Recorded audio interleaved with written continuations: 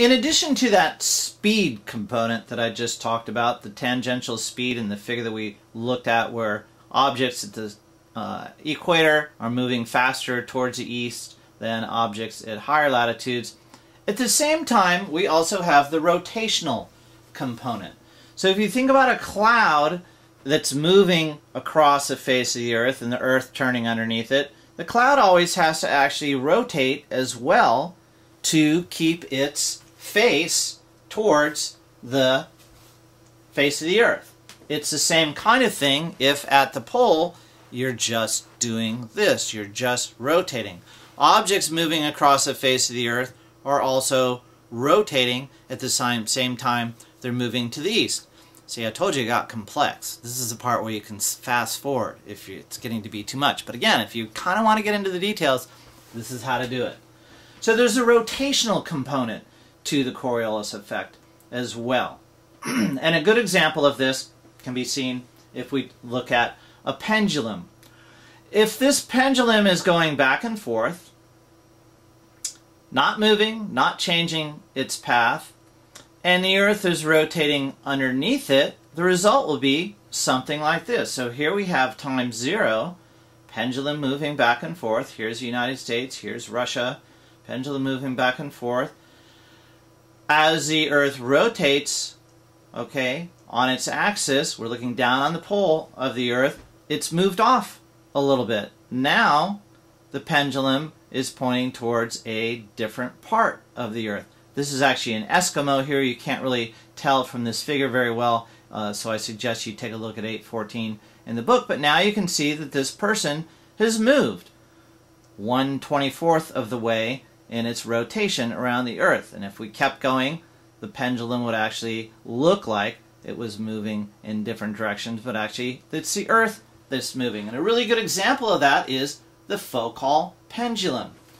If you've ever been to the Griffith Park Observatory or other places that have those pendulums, you've watched the thing swing back and forth and it looks like what's happening is the pendulum is moving and knocking down dominoes for uh, to keep track of different times but in fact it's not the pendulum that's moving it's the earth that's moving underneath the pendulum of course from our perspective standing on the moving earth because we're standing on the earth that's moving, it looks like the pendulum is moving.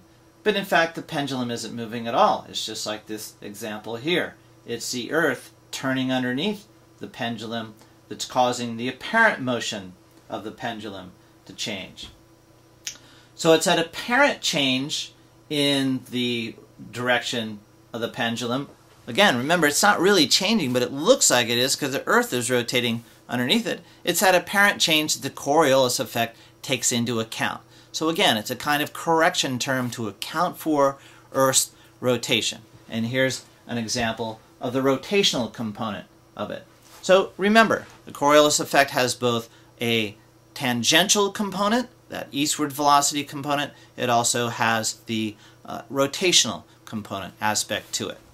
Now, I promised to tell you one of the kind of examples that aren't really good examples. But one of the ways this is commonly taught is uh, on a merry-go-round. Imagine a merry-go-round where there's just you and your friend on the merry-go-round. There's just two horses. They took the other ones off. They used to have those merry-go-rounds too that you spin in the schoolyard. I don't think they have those anymore. I think too many kids went flying off and got hurt or something like that. But if you think of a traditional merry-go-round, maybe like one you find at Disneyland or at uh, Santa Cruz Boardwalk, the horses going around if you throw a ball at your friend, by the time the ball gets there, your friend is going to be in a different location. So to actually play catch with somebody on a merry-go-round, you have to throw the ball ahead of the person so that by the time they get there, the pie and the ball gets there, they arrive at the same time that's one of the examples use the Coriolis effect, and I don't know how effective that is for for students studying it or not. But that's just one of the ways that people teach it. I think if you study the figures in the book, that you have more uh, a more clearer idea of the kinds of ways that, uh, of how the Coriolis effect actually works. Another way to think of it too is if you're on an object on the equator and you're moving at that 464 meters per second, as you move further north, you're still moving at 464 meters per second to the east. Okay? But the Earth is not moving that fast. And as you go even to higher latitudes, you still have that 464 meter per second eastward component because nothing's acted upon you. You're just heading north. So it looks like, as you're heading up from the equator, it looks like you're traveling to the east because the Earth beneath you is actually traveling east more slowly than you were when you left, took off from the equator. So those are just some other simple kinds of examples that might help you better understand the Coriolis effect. Of course, remember the mantra, Northern Hemisphere right, Southern Hemisphere left. And you'll be fine, for all intents and purposes, in a course of studies in oceanography and probably meteorology as well. Well, let's summarize the Coriolis effect. Moving objects in the northern hemisphere appear to deflect to the right. Moving objects in the southern hemisphere appear to deflect to the left. What we didn't mention, but which is true, and for those of you that need the details, the Coriolis effect increases with latitude. So we get a stronger Coriolis effect as we go from the equator to the poles. In fact, the Coriolis effect at the equator is zero. So an object moving along the equator, like a hurricane, will stay, or tend to stay, on the equator. But as it gets a little bit north of the equator, those hurricanes will begin to deflect off to the right, as many of them do.